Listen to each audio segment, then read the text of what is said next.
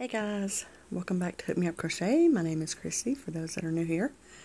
And I just wanted to show you my progress on my yarnery to take Krista's um, title or borrow it or use it or share it, however you want to put it.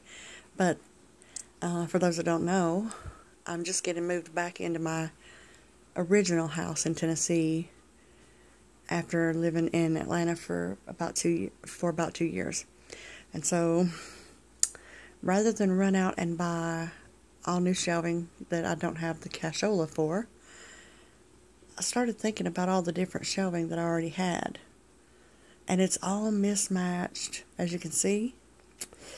Uh, but me and my son and my daughter-in-law, we just kind of stacked it all together up on this wall in my living room because that's the only place I had the space for it. And I'm not done unpacking, so. But this is a, my work in progress. And, um, overlook the mess. I'm going to pan over a little bit. See that cake? They're right here, this shelf. That's full of Caron cakes. I need to quit running my finger in front of it. And I still have boxes that I'm going through that have, yes, yarn, paint box yarns I still have to put away. Uh, a few more cakes and such. Now that box over here is yarns that I don't want anymore. Um, you know, some that I might have had duplicates of. And, you know, I go through these phases with yarn, and if I've used a yarn and used it and used it, then I get tired of it, I get bored with it. And, you know, especially with the way the yarn companies are always coming out with new yarns. Um, so I end up with multiple skeins sometimes that it's just time to part with them. There's there's nothing wrong with them, but it's just time to make room for something new. And I don't know if this is how this is going to end up. Uh, like I said, it's a work in progress, and I still have all this to deal with. So some things may end up being changed. I'm quite sure they will, but for now, this is what we're doing. As a matter of fact, this basket right here is more than likely going to end up filled with the paint box yarns um, because the way that's not a good use of it right now as far as storage. So, though it might look pretty having all the little mini skeins, it's just not function functional, and I've got to make it functional as possible.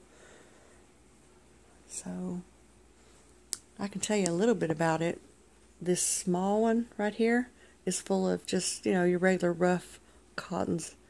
Because I bought all of these back in the day before we had our soft, I love this cotton yarn and the bamboo cottons and all that stuff.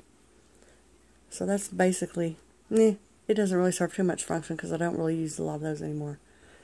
Right over here in this basket, those are my lesser go-tos also because um, that's the worsted yarn from Herrschner's, which, in my opinion, is just entirely too rough. Too rough. So, it's like it's it's not so bad that I would get rid of it yet, but it's not so wonderful that I'm going to be reaching for it very often. So, therefore, having it, you know, stacked tightly in the basket is is fine. Right here is Lovey, and I used that oh, point correctly right here on this shelf. It's all that real thick lovey. And I use that for um, trim on my hats and, um, you know, things that need trim. a, a, nice furry, furry trim. I don't know if you can see that. And there's different gauges of it. It's not all lovey. There's just anything that would be classified as a, whoop, point down, as a, uh, a furry trim, you know, up on top. And then down here we have the Lion Brand. Is it Lion Brand? Or, ooh, I should know this. It's the faux fur. You know how they came out with the color, colors like coyote and wolf and um, and all that. Well, that's what the row that row right there is. And then this row down here, I'm not to call out everything I have, but like from there down is um, big twist yarns. Most of that's big twist with some red heart. And down here, I think the bottom is loops and threads that I got at Michael's on, on sale. Here we have DBNY when they were doing the five colors to a bag for one dollar. Do you guys remember that? How many of y'all got in on that one?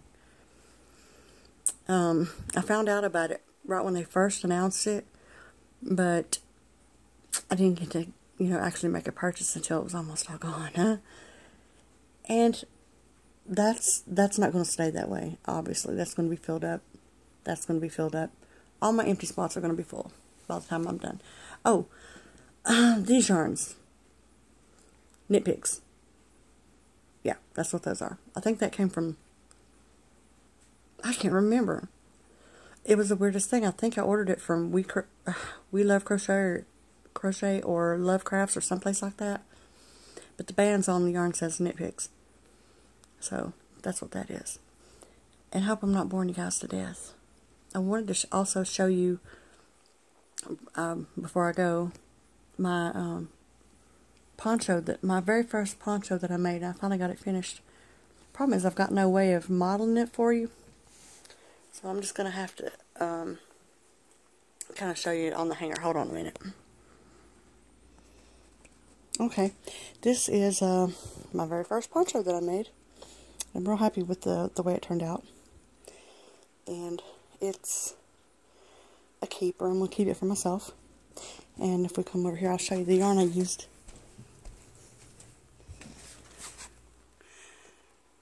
I think it's, um, know, the Angora design that I got from Ice Yarns just the other day. I did it, um, showed it in my Ice Yarns unboxing. And I said it reminded me of um, uh, apple orchard like going apple picking. And so my shawl, it took um, the body of the shawl, front and back, took two, two full, um, hold on a minute. Sorry to move around so much, but um, it took two full uh, balls, and then I used a third ball going around it to put the trim So that left me with one. Actually, that's um, after I put that third one on, I had enough left over to make a hat. So I made a hat right quick. and so I have the one left over, the one skein. Let me get myself backed up here.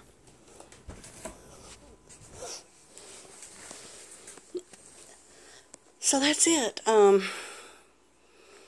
as you can tell, it's a, I don't actually know a specific size, but it's a XXXL for an XXL girl, because that's what I am.